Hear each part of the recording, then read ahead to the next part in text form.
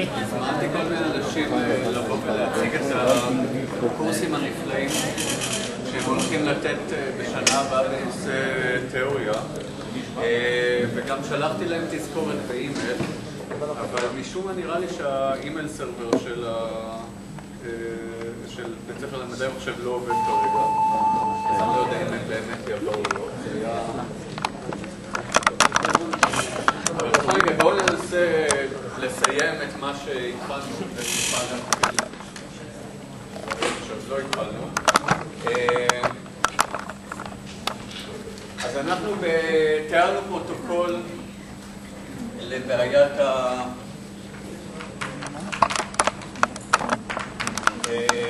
boolean equivalence ומה שאנחנו רוצים כרגע להוכיח, וזה מה שנשאר לנו, זה את הנאותות של הפרוטוקול. כלומר, אנחנו רוצים להראות שלמעט בהסתברות קטנה, רבע, האמת שנוכיח משהו יותר טוב מרבע, למעט בהסתברות קטנה, לא יכול להיות שהפרובר יצליח לגרום ל-Verifier להחזיר תשובה, זאת אומרת לא לדחות, אלא ממש להחזיר איזשהו סכום שהוא חושב שזה הסכום, אבל זה בעצם לא יהיה הסכום הנכון, זה מה שאנחנו רוצים. זאת אומרת, אנחנו במצב ש... כששאלנו בשלב מספר 0, אתם זוכרים, שאלנו את הפרובר מה הסכום, והוא ענה סכום עם סימן שאלה, ואנחנו במצב שהסכום הזה אינו שווה ל-S, לסכום האמיתי, ואנחנו רוצים להראות שככל שהשלבים יתקדמו, הפרובר יצטרך להמשיך, למעט בסיכוי קטן, שיהיה לו איזושהי דרך לצאת מזה, אבל למעט בסיכוי קטן כזה, בדרך כלל מה שיקרה זה שהפרובר יצטרך, אחרי שהוא שיקר פעם אחת, להמשיך ולהמשיך לשקר עד שבאיזשהו שלב ההפרשות יפגעו במאוורר ובזה יסתיים הסיפור. אז, אז זה המצב. אז יש לי את הסכום האמיתי S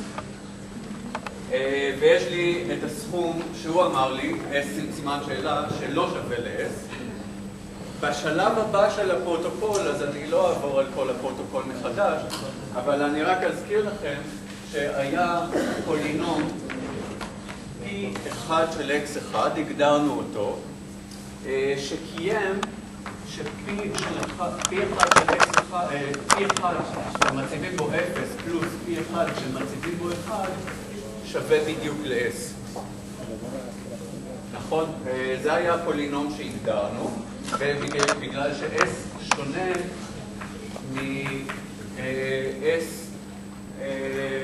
עם סימן שאלה, אז בשלב מספר 1, כשאנחנו מבקשים מהפרובר, אנחנו מבקשים מהפרובר פולינום, והוא נותן לנו פולינום P1 עם סימן שאלה, הדבר הראשון שאנחנו עושים זה בודקים ש-P1 עם סימן שאלה עם 0 פלוס פי אחד סימן שאלה כשמציבים בו אחד, אנחנו בודקים שזה שווה לסכום עם סימן שאלה שהוא נתן לנו בשלב אפס. לכן, אלא אם כן הפרובר פשוט מתייאש ואומר, הנה, אקח את הפולינום האמיתי ואז נבדוק ונראה שיש אי שוויון. זאת אומרת, אם הפרובר רוצה להצליח לרמות את ה-Verifier, אין לו ברירה אלא אה, להחזיר פולינום שאינו שווה לפולינום האמיתי. מה קורה בשלב 2? אה, אז אנחנו זוכרים שמה שקרה אחרי זה זה שבחרנו איבר Z1 רנדומי ובחרנו P2, פולינום P2 המשתנה X2 כך ש-P2 ב-0 פלוס P2 ב-1 שווה ל-P1 ב-Z1.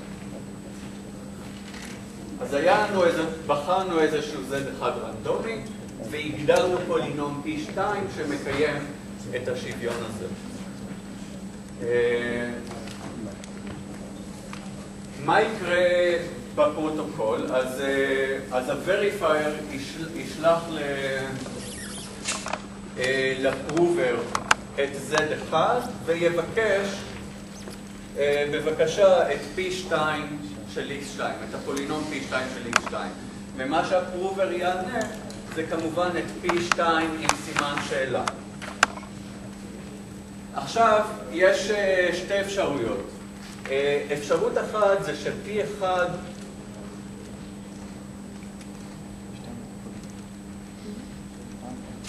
כן, אז יש שתי אפשרויות.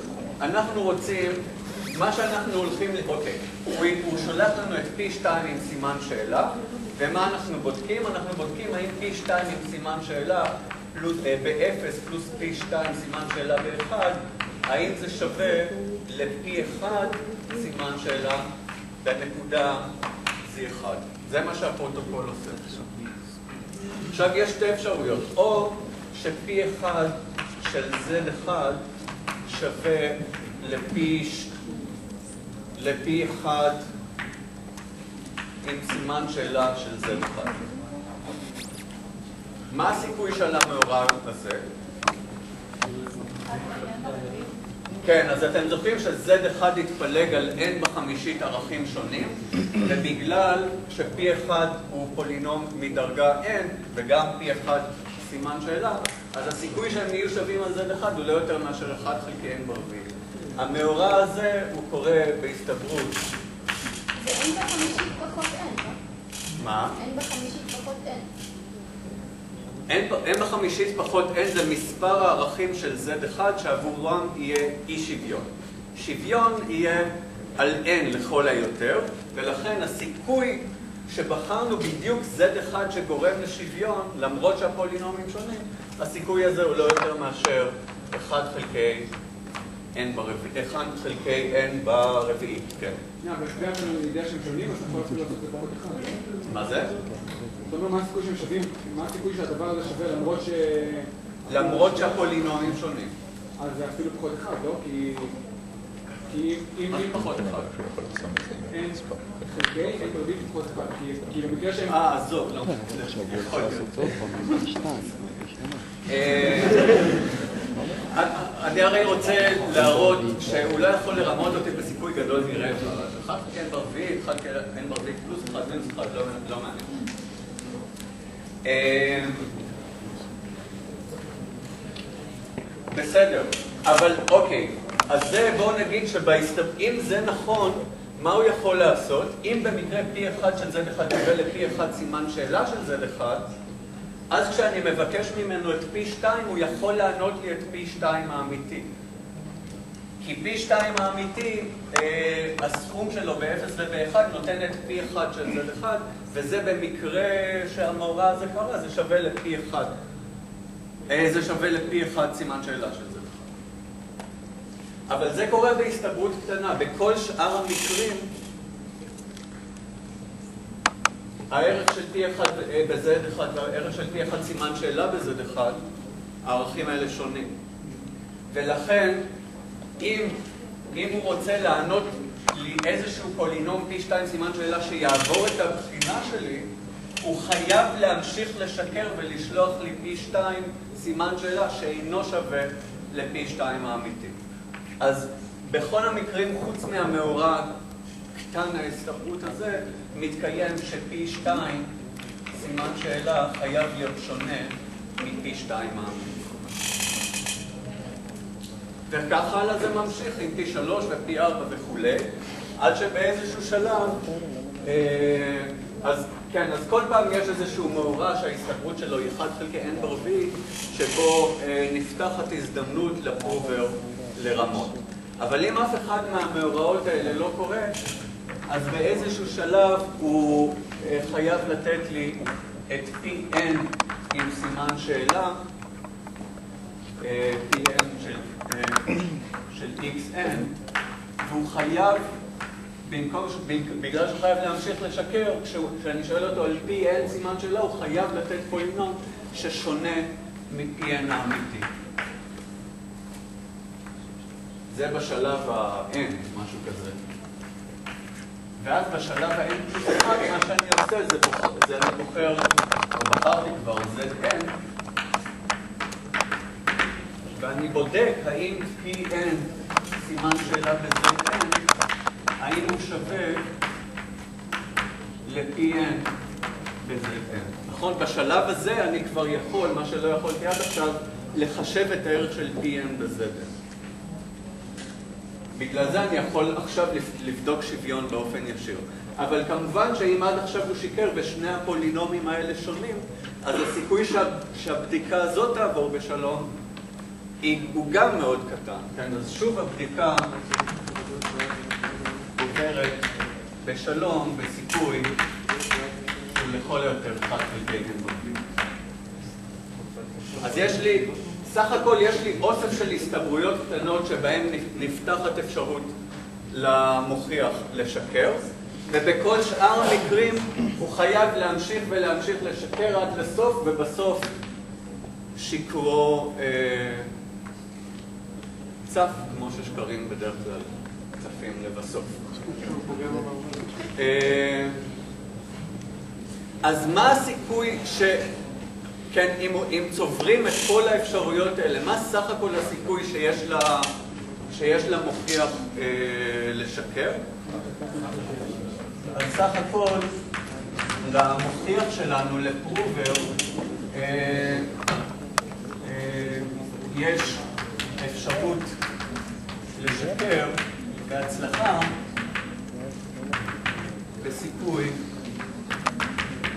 שהוא לכל היותר 1 חלקי n ברביעית זה עבור כל אחת מההזדמנויות. כמה הזדמנויות כאלה יש? אין.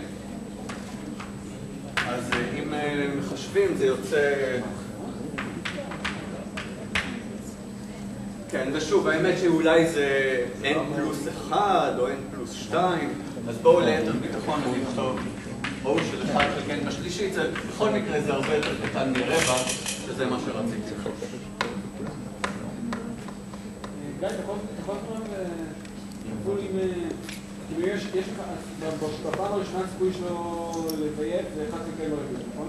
הסיכוי שלו שיהיה לו הזדמנות לזה זה 1 חלקי ברביעי. ואז בפעם השנייה, הסיכוי שהיה לו שבפעם השנייה לא דחו אותו, וגם בפעם השנייה, נכון? עזוב, בוא נניח שכבר, בוא אני נותן לך כבר שלא דחו אותו בפעם הראשונה.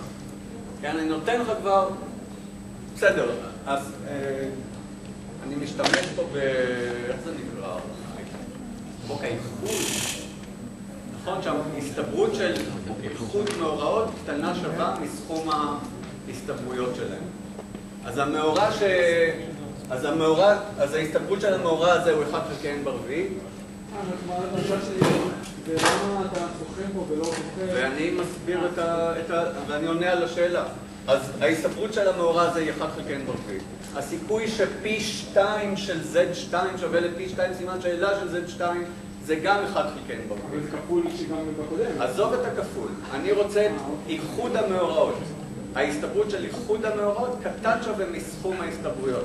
נכון שהוא אפילו עוד יותר קטן. אתה בודק את זה שלוש עם 1 או 2 המאורעות... אבל הם כן תלויים. אינטואיטיבית, אם יש לך סיכוי של 1 כן ברביעית לעבור איזה מכשול, ואז אם כבר הגעת למכשול השני, שוב יש לך סיכוי... זה לא תלוי, נכון, אבל אתה לא היית עובד השני זה... בסדר, בוא נגיד ככה, זה שאלה בהסתברות שחורגת מתחום הקורס, ניתן לעשות את זה פורמלית עם נניח נוסחת ההסתברות המותנה, נוסחת התוחלת המותנה.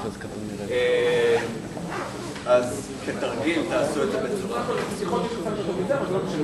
נכון, אפשר לקבל חסם טיפה יותר טוב על ידי זה שמתחשבים בזה שזה לא בדיוק. כן. יכול להגיד שוב למה זה אחד סימן שעה של פי אחד? כן, כי פי אחד ב-0 פלוס פי אחד ב-1 שווה ל-S ופי אחד סימן שאלה באפס, פלוס פי אחד סימן שאלה באחד, חייב להיות שווה ל-S עם סימן אה, שאלה, כי אחרת ה-verifier ידחה. אתה לא יודע ש-S סימן שאלה שווה ל-S? לא, אני, כן, אז בגלל זה כתוב פה יש סימן שאלה שווה ל-S. זה מה שאני מניח. אם S לא, אם יש סימן שאלה שווה ל-S, אז הכל בסדר, נכון? אז הפרובר אמר לי את התשובה האמיתית, ומותר לי לענות את S סימן שאלה בתור התשובה בסוף התשובה. טוב, אני רק רוצה, אה, כן, אני מצטער שאנחנו טיפה ממהרים, אבל אה, היום אי אפשר אה, לדחות את מה שלא נספיק לפעם הבאה.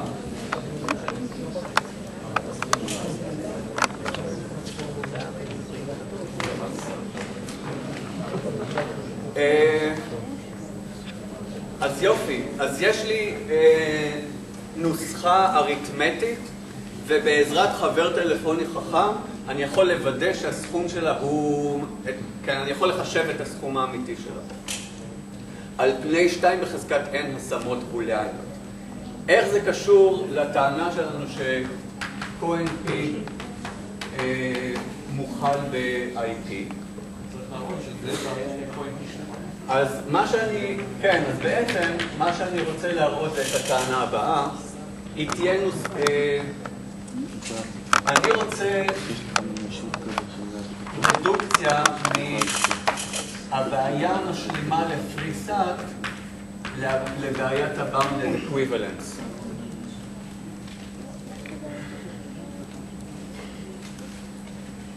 זה ישלים את ההוכחה של, ה, של המשפט שרצינו. ובעצם, מה שאני אראה זה אפילו יותר חזק. מה שאני אראה זה שיש אלגוריתם, פולינומי, אשר בהינתן אה, נוסחה בוליאנית, אגב, אה, כשדיברתי על נוסחה אריתמטית, מישהו שאל איזה עוד נוסחאות יש, ואמרתי שיש נוסחאות בתחומים אחרים של מדע, אבל גם נוסחה בוליאנית היא כמובן נוסחה. אז יש אלגוריתם פולינומי אשר בהינתן נוסחה בוליאנית, בואו נקרא לה. פי, אה, מחזיר אה, פולינום, פולי, פולינום, שנקרא לו פי פי, אה, מעל אותם משתנים בדיוק, כך שמתקיים, שמתקיים לכל השמה בוליאנית, בואו נניח שהמשתנים הם... אה, אז יש לי נוסחה מעל המשתנים x1 עד xn, ויש לי נוסחה בוליאנית בהם. למשל נוסחת פריסט, אבל בעצם כל נוסחה אחרת. מה שאני רוצה זה שזה פולינום p של פי, כך שעבור השמות בוליאניות, הרי בפולינום אפשר להציב גם השמות אה, לא בוליאניות, אבל כשאני מציב השמות בוליאניות ל-x1 עד xn, אגב, מה זה השמה בוליאנית למשתנה? זה לתת לו או 0 או 1, כן, על false אני חושב בתור 0 ועל true אני חושב בתור 1, אז אה, לכל השמה בוליאנית אה, מתקיים פי פי של אה, u1 עד un שווה לפי של u1 עד un, כשאני מציב במקום x1 עד xn את ה-u'ים האלה, כן, אז u1 עד un הם באפס אחד.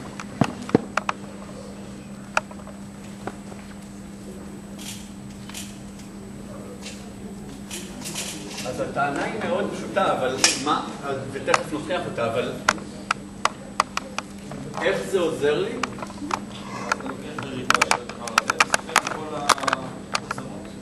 כן, בעצם, אה, אז בתור הערה מכאן, שפי אינה ספיקה אם ורק אם סכום פי פי u1 עד un בריבוע גם לא צריך ריבוע, אבל אה,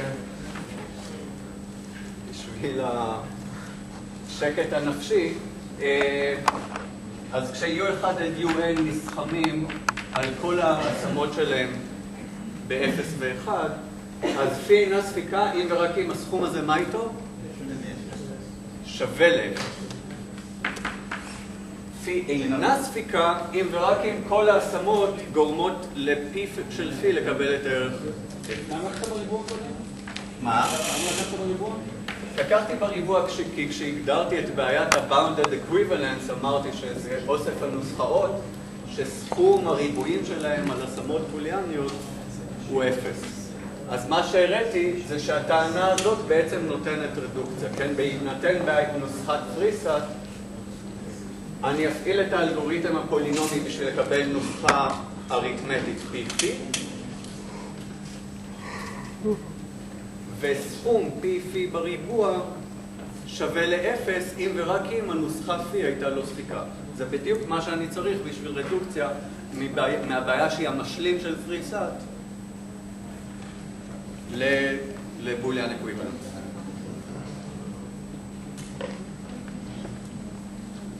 בסדר? יש לי לפחות עיוון אחד.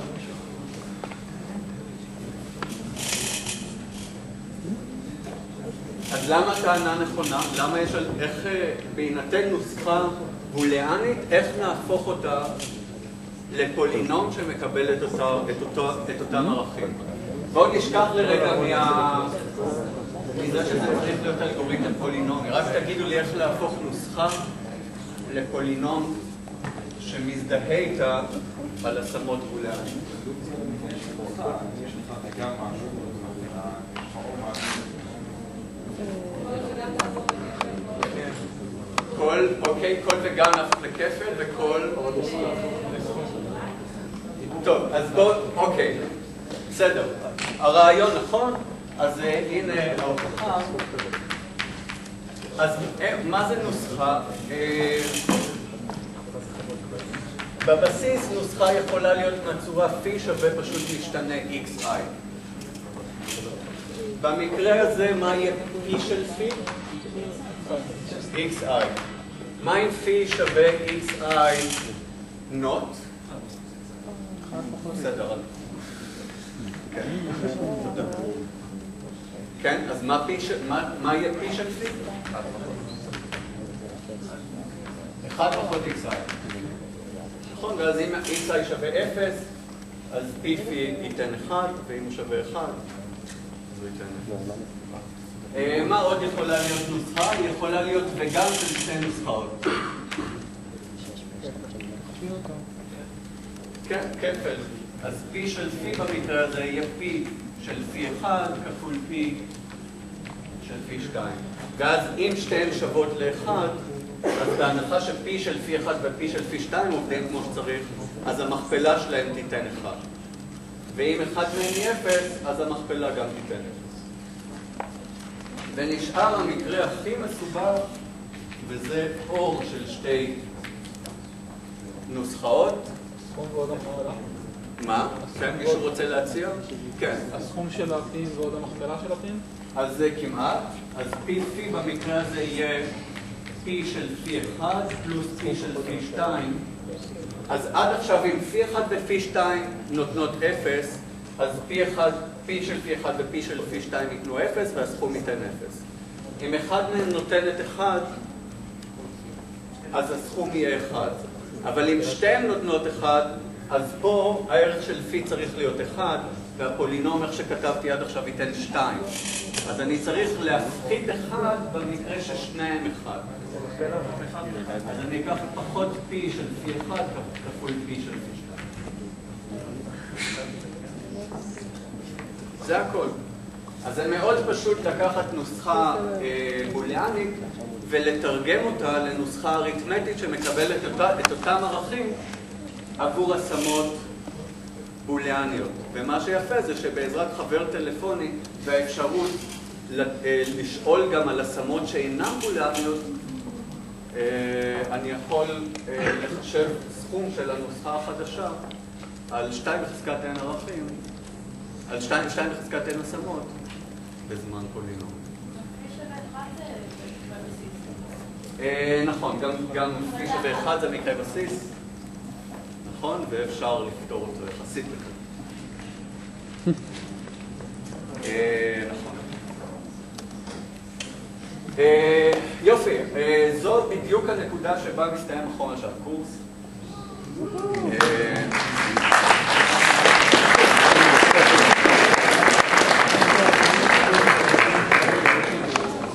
אה, לפני שאני אתן לאנשים הנכבדים שהגיעו להציג את הקורסים הנפלאים שלהם, וגם אני אציג אולי איזה משהו,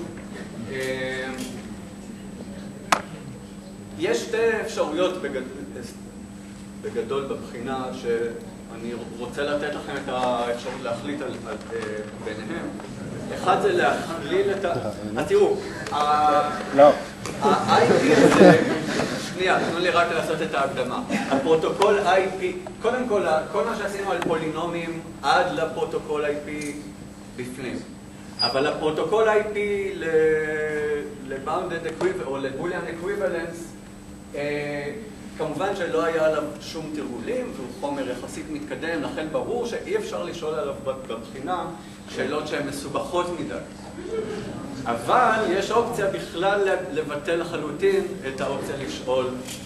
אה, אז אני נותן לכם את האפשרות אה, לבחור. אז מי שרוצה לבטל מהבחינה את, ה, את הפרוטוקול האחרון שלמדנו, אני- לא, אין בונוס. כולם יש להם את אותה בחינה והם צריכים לענות על אותן שאלות. כולנו באותה סירה. כן. אז לבטל. אז שאלתי מי רוצה לבטל מי רוצה את ה- לבטל? את ה-iPad. כאילו, הוא אומר שזה קל. אם- תיקחו בחשבון שאם תהיה על זה שאלה היא תהיה פשוטה יחסית. אוקיי, בואו נעשה את השאלה ההפוכה. מי רוצה לא לבטל את זה מהחומר? יופי, תודה. אז האמת שבעיקר רציתי לדעת, אה, ל- להוציא מכם תשובה כנה על אם הבנתם מה הלך בפרוטוקול. שזה יחסית עבד.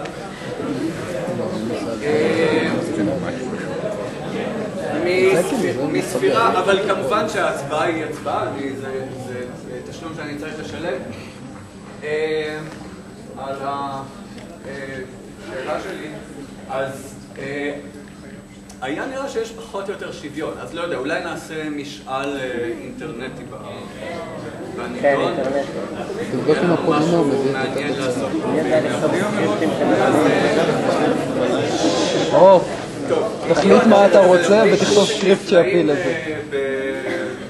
בתיאוריה בשנה הקרובה. אה, מי רוצה להסביר? אז... אה,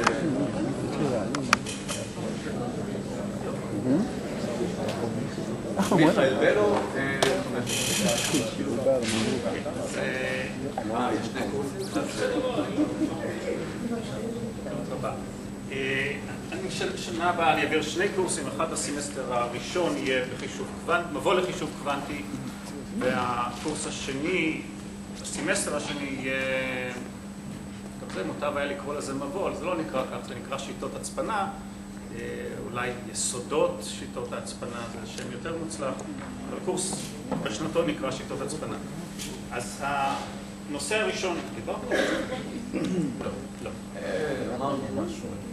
טוב, אז אחת השאלות המעניינות זה, אה, למדתם על חישוביות, מה אפשר לחשב וכן הלאה, אז שאלה חשובה שעולה זה, בהינתן המגבלות הפיזיקליות על חישוב, מה באמת אפשר לחשב. כן, כלומר, פה למדתם מתמטיקה, כן, השאלה אם אפשר בכלל לממש את הדברים הללו. אז התשובה בהחלט, אה, עד כמה שאנחנו יודעים, פיזיקה זה לא משהו שאת הכל יודעים, אה, בעולם הפיזי. אז אם לוקחים את המודלים הסטנדרטיים של פיזיקה של העולם, אז אכן תזת טורינג צ'רץ' נכונה. תמצאו אולי הרבה מאמרים שמנסים לפתור את בעיית העצירה בעזרת כל מיני מכונות. אה, דעתי היא שהם כולם שטויות. דעת אלה שכתבו אותם לא, אבל... אה, אבל על השאלה, ברגע שהגעתם למורכבות חישובים, השאלה היא האם המחלקה P הזאת שאנחנו מתארים אותה היא זאת באמת של בעיות שניתן לפתור בצורה יעילה וכאן באמת תלוי בכוח החישוב של המערכת ואיכשהו אה, דוגמה למודל ש... כלומר, אז אם מסתכלים על אוסף כל מיני מודלים, ואתם ראיתם כל מיני מודלים, אז אפשר לעשות סימולציה אחת פולינומיאלית של השנייה, אז המכונות שאנחנו בדרך כלל עובדים עליהן עד כדי פולינום, שוות למכונות הטיורינג שלנו, אז לכן מחלקה P היא מחלקה מעניינת. איכשהו באחת המחלקות שנשאלה לשאלה, כשבאמת יורדים לפיזיקה למטה, למטה מגיעים למכניקת הקוונטים. עכשיו, לא צריך לדעת מכניקת הקוונטים כדי לבוא לשיעור בשיעור קוונטים, אני לא למדתי פיזיקה מעולם, אז... אבל חומר מתמטי, אבל לוקחים מודל שבו, שמתאים לפיזיקת הקוונטים. ומה שקורה שם זה שאחד הדברים ש, שקורה זה שכל הפעולות חייבות להיות רוורסיבליות, עד שמודדים בסוף. אבל הפעולות היחידות שמאפשר מאפשר פיזיקת הקוונטים כולן הפיכות. אז אחת השאלות שאנשים שאלו בשנות ה-70 זה אולי בגלל שאנחנו צריכים לפעול בצורה הפיכה, ולמשל פעולת end כזאת שרשומה שם היא לא פעולה הפיכה, אה, אולי זה מגביל את החישוב. וברגע שנרד למטה ונרצה לכתוב, לכתוב מעגלים עוד יותר קטנים והתופעות הקוונטיות כבר תתחלנה להפריע לנו, אזי נוכל לחשב בצורה פחות יעילה. אז על זה הצליחו להתגבר, חישוב רוורסיבלי, גם הוא אפשר לחשב באותה מידה, לא, זאת לא מגבלה אמיתית. אז זה בערך שנות ה-70.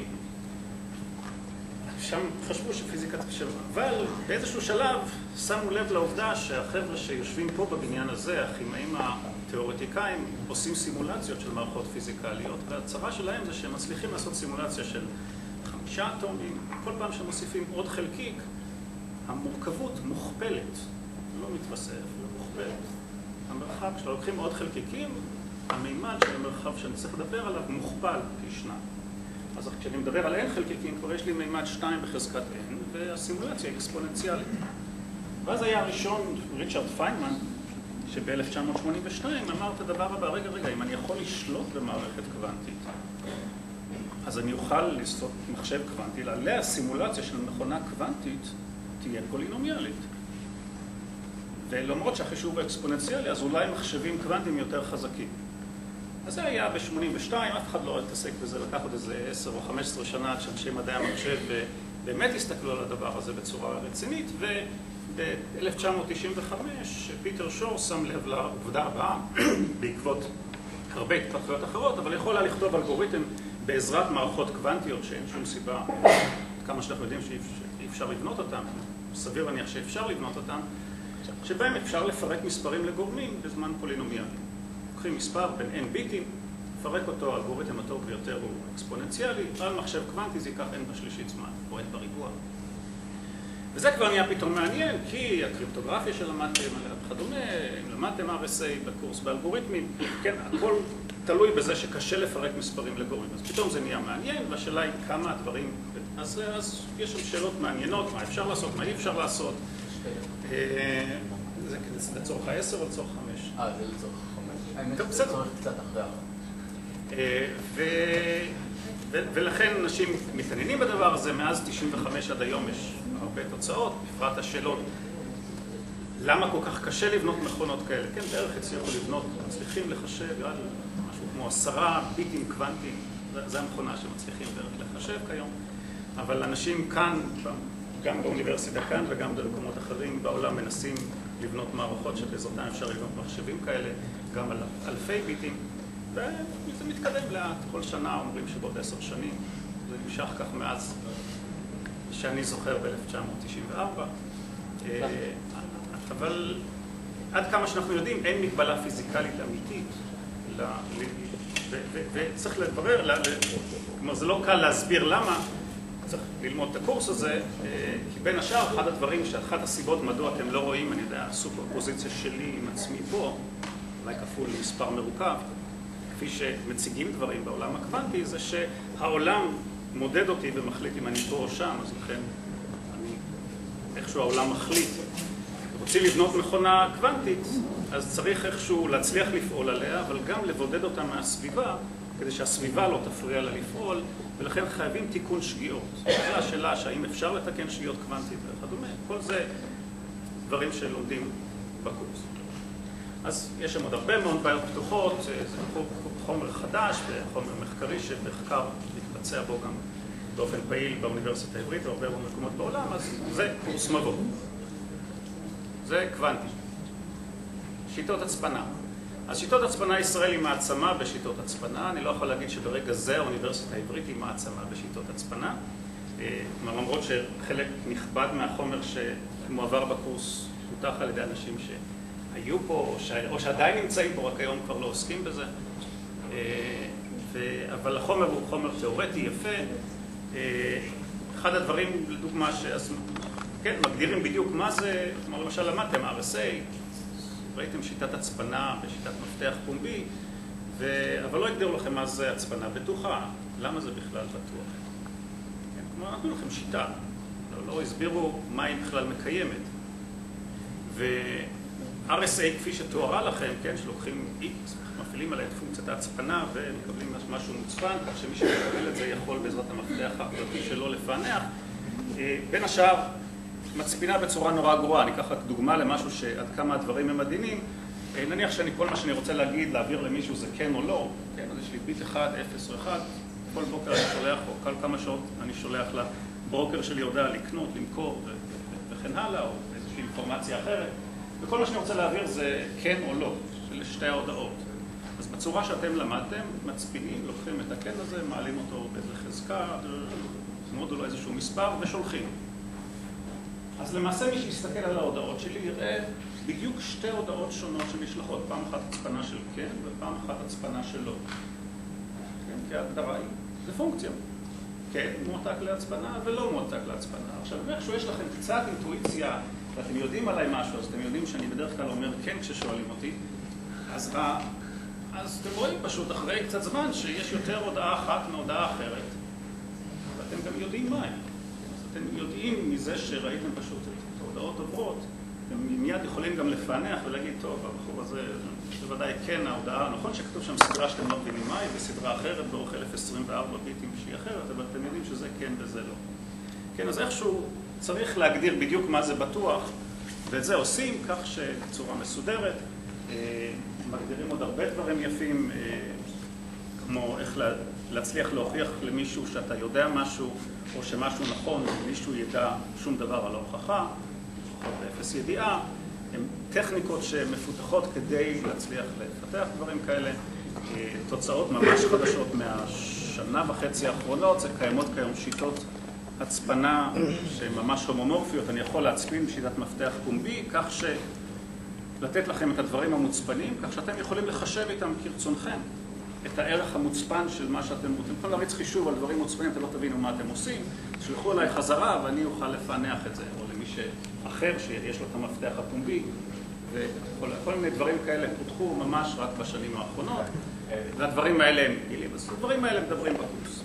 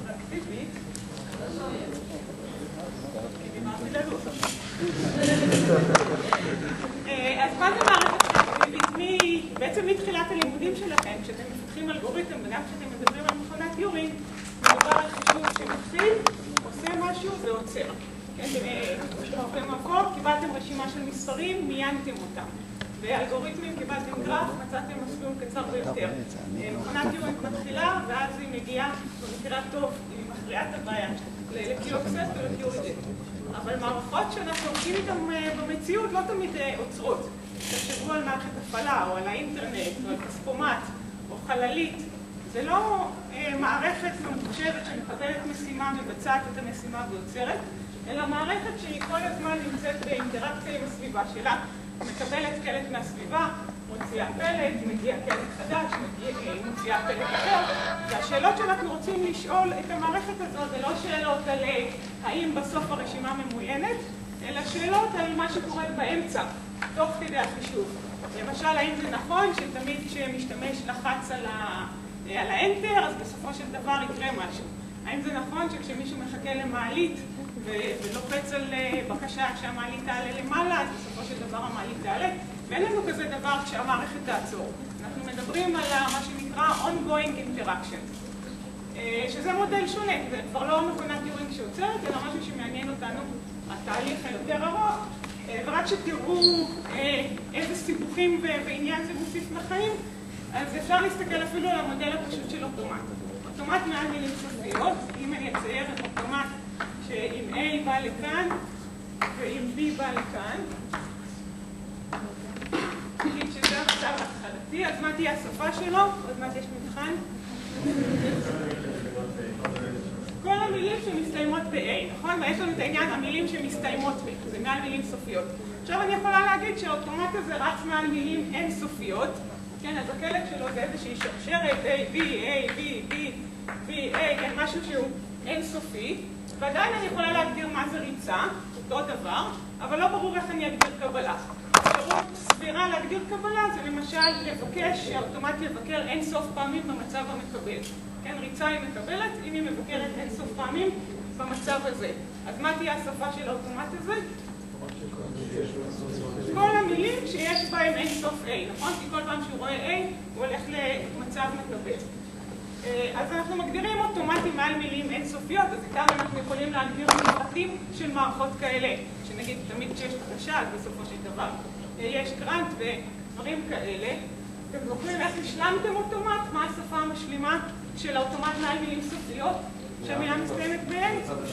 אם הוא דטרמיניסטי, אז מותר לנו לעשות מה שנקרא דואליזציה של תנאי הקבלה, נכון? מקבלים אוטומט משלים. אם אני רוצה אוטומט לרק מספר סופי של A, זה כבר לא זה, נכון? זה האוטומט של מה זה, אם אני מסתכלת עליו בתור אוטומט מעל מילים אינסופיות? זה אינסופי של B, שזה שונה מרק מספר סופי של A. איך נראה אוטומט לרק מספר סופי של A? לא ברור, אז הנה למשל אוטומט כזה שינחש מתי מסתיימים ה-A. מתי שהוא עובר למצב שממנו יש רק B. ותשימו לב, זה אוטומט לא דטרמיניסטי, הוא מנחש מתי מתחיל הזנב של הרק B. אפשר לנסות לעשות לו דטרמיניזציה? לא נצליח. אי אפשר, subset construction לא עובד, אז כל מיני דברים שאנחנו מתעניינים לא רק במה קורה בסוף. כי ה-subset construction עבד לנו על מילים סופיות, כי היה אכפת לנו מה קורה בסוף, שנצליח להגיע למצב מקבל.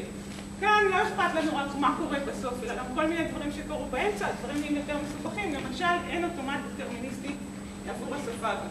מה עושים בקורס? אני רואה שגיא כבר שם. אז אנחנו נדבר על המערכות האלה שהן מערכות ריאקטיביות, על כל מיני מודלים, גם למערכות האלה וגם למפרטים עבורם, כמו אוטומטים. יש בעיה מפורסמת, בעיית התפוצצות המצבים, המערכות הן מאוד גדולות, אז האלגוריתמים שאנחנו רוצים כדי לדבר עליהם זה לא אלגוריתמים רגילים אנומרטיביים, אלא אלגוריתמים שמקבלים תיאור סימבולית של המערכת. אתם יכולים לחשוב על זה כמו נתנו לכם גרף, אבל לא על ידי רשימת הקשתות, אלא על ידי פונקציה בוליאנית שמתארת את הקשתות. אז מה הולכת להיות הסיפוחיות של כל מיני בעיות על הגרף הזה? הבדל בין מילים ועצים וכולי וכולי. טוב, תודה. כן, יש לי שתי דקות. אז אני, אני גם מלמד קורסים שנה הבאה, אז אחד מהם זה חישוביות, חלק מכם.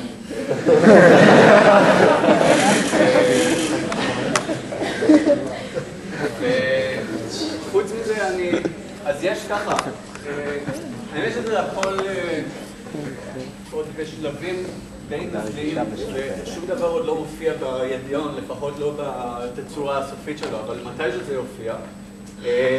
אז קורס אחד, אני מניח שיהיה, יקרא משהו כמו נושאים בתיאוריה, או תיאוריה לתלמידי מאסטר או משהו כזה, אבל זה יהיה קורס שפתוח גם לתלמידי שנה שלישית, ומה שנראה בו זה בעצם כל מיני המשכים של, של דברים שההתחלה שלהם ראינו אה, כבר עכשיו, למשל אה, קודים לתיקון שגיאות.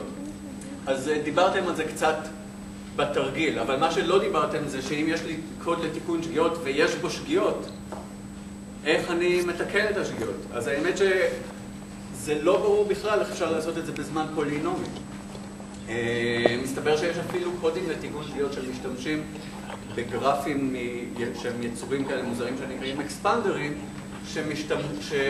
שאפשר לעשות בהם תיקון שגיאות בזמן לינארי. וזה די, כן, בנייה די מפתיעה ויפה. בכלל, כן, אז עוד דבר שנדבר עליהם זה, אז, אז הדבר הזה, אקספנדר, שמאפשר לעשות קוד תיקון שגיאות, הוא מה שנקרא מבנה סודו-רנדומי, אנחנו נדבר על מבנים סודו-רנדומיים אחרים, זה מבנים שאפשר לבנות אותם בעזרת אלגוריתם יעיל, והם נראים כאילו סתם זרקנו אה, כל מיני דברים בצורה רנדומית לתוך קופסה. זה לא כזה טריוויאלי כמו שזה נשמע. הרי אמרתי לכם באיזשהו שלב ש-BPP אה, חושבים שהוא מוכל ב-P. BPP זה אלגוריתמים שמשתמשים ברנדומיות. אם נצליח לתת להם משהו שנראה כאילו הוא רנדומי, למרות שהוא לא רנדומי, אז נוכל לקחת אלגוריתם רנדומי ובעצם לעשות אותו בזמן פולינומי בלי רנדומי. אה, אז זה אחד מהדברים שנדבר אה, אולי בקורס שעוד לא קיים, אבל יהיה באיזשהו שלב בידיעות. והשם שלו, המילה תיאוריה בטוח. זה השם שלי. וחוץ מזה, אה, תשקלו לבוא, יש גם סמינר סטודנטים בתיאוריה שכנראה יינתן גם שנה הבאה, אני לא יודע מה יהיה הפוקוס שלו בדיוק, זה עוד to be decided, אבל בעיקרון באים, קוראים מאמרים אה, הרבה פעמים מהזמן האחרון, בחזית הטכנולוגיה, ונותנים עליהם, ונותנים עליהם הרצאה ושומעים את ההרצאות של אחרים, כמו שעושים בסמינר, אה, בנושאים שונים בתיאוריה. אה, אז זה גם יהיה שנה הבאה. אני עוד לא בטוח מה, אם יהיה פוקוס ומה הוא יהיה, או אם יהיה ברמה ש, שפתוחה אליכם או לא, אז תבררו אם אתם מתעניינים לקראת אה, תחילה. זה יהיה, בשני הדברים האלה יהיו בסמסטר א'. שנה הבאה. אה, בחינה נעימה, חופש נעים, אה, ויהיו איזה שהם פרטים, לא יודע כמה ספציפיים לגבי מבנה הבחינה שיעברו בניוזביוט של, של הקורס. אבל סך הכל, אני... סך הכל, אה, מה שחשוב, אמרתי שתדעו הוכחות ותדעו גם הגדרות. מה? כל- מה עשינו בקורס? בעיקר הוכחות, נכון? אז הוכחות כאלה.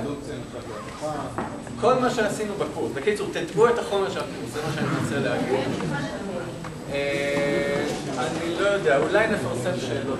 מה, מבחן לדוגמה זה מאוד קשה לכתוב. מבחן בכלל זה מאוד קשה לכתוב. אני מאוד אה, מקווה שנצליח לכתוב מבחן שהוא סביר.